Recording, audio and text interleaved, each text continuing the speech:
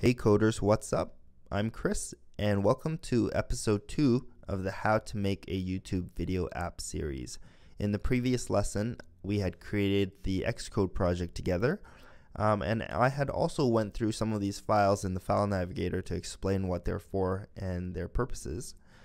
Let me just pull up our demo app that I showed you yesterday for a quick second. So yesterday after releasing that video, I went back and I reviewed some of the code I wrote last year. And to be honest, some of the stuff is actually pretty complicated, particularly the feed parsing and working with the YouTube API. It gets pretty nitty gritty and I don't know if it's going to be for everyone. I was racking my head about how I was going to explain it because um, I want this series to be accessible to everyone, and I want everyone who is watching this to be able to create an app that displays and plays YouTube videos. Um, so for example, grabbing these videos dynamically and then parsing that video ID to grab the comments and grab the description, that stuff was actually pretty involved. So I think true to what I said, I'm going to create a simple version first. And what that's going to entail is a scrollable list of videos that look like this. So we're going to be able to have the the video thumbnail and the title and stuff like that.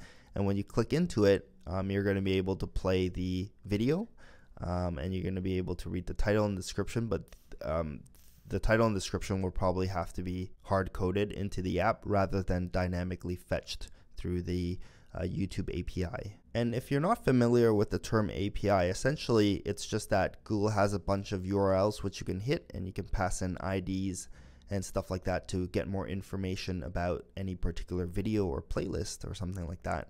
But where the difficult part is, um, is that you're going to have to sign up for a YouTube application so that you can get an application key so it knows who is calling those URLs. And then when you call those URLs in the API to return data, it returns it in the form of data feeds, which kind of look like like this, like this snippet of JSON here, but imagine in a much larger file with lines and lines of this kind of stuff.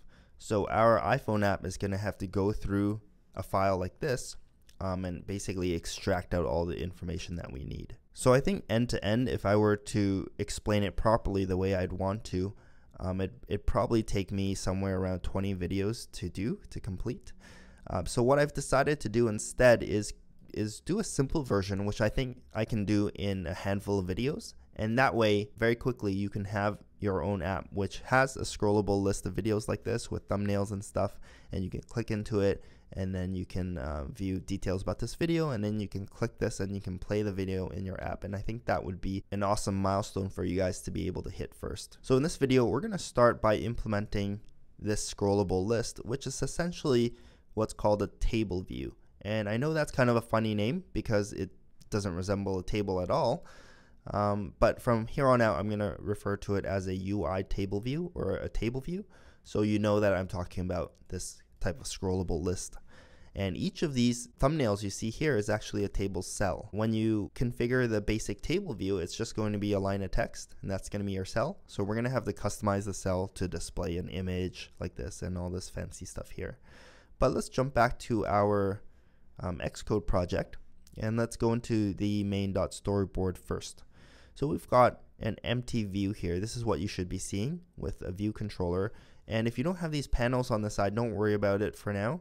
Uh, what you really need is this panel on the right hand side. And this button expands or hides it.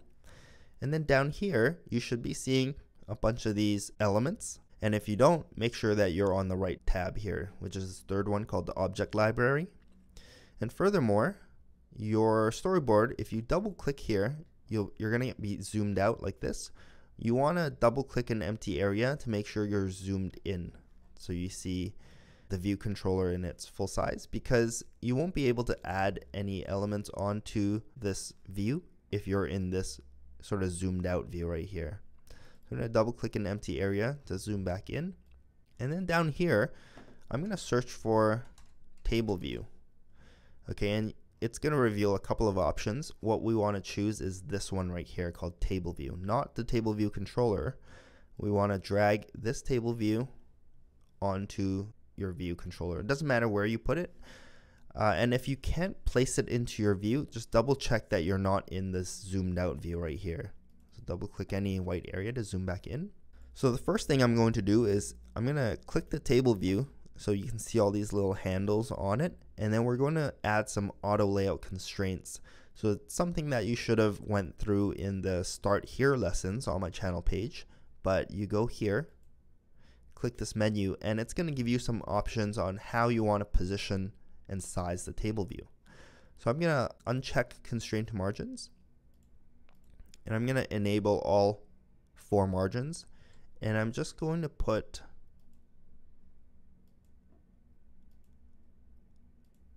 click these little drop downs here sorry um, and choose view because I want to position that margin uh, relative to the view and not the bottom layout guide. So these ones should already be view, the left and right. It's just the top and bottom that have the layout guides. I'm going to put them all to zero. And then what I want to do also in this little drop down is choose, um, just choose all frames and containers. And basically what this does is after you add these four constraints, it's going to automatically apply those four constraints. And it's also going to do it for all the other elements in your view. So when you do that, automatically you should see your table view take on those four constraints that you added. And if you forgot to select this little drop down for update frames, don't worry, you can manually do it. So make sure that your table view is selected and then go here and you can choose update frames. Uh, it's grayed out for me because my frames are already updated. So now we have our table view conforming to the entire view. This left hand side is called the document outline and it's very helpful to see what sorts of elements you have in your view. Sometimes you have elements overlapping each other and they're hard to select or hard to click and you may not know that something is there. But if you take a look at your document outline, you're going to be able to see the list of your elements and basically it's also a sort of Z order or layering. So anything that is closer to the top right here is at the bottom. I know that's counterintuitive, but if you think about the view as the, the bottom layer, so the table view is on top of the view. So anything you add below the table view uh, will be actually on top of the table view. If you don't see this document outline, go down here. There's a little icon here to slide it out. Next, what we want to do is we want to add a reference to this storyboard element from our view controller because remember the view controller is where we're going to add all the logic to handle the user interaction and it's kind of uh, going to supply the data for the view.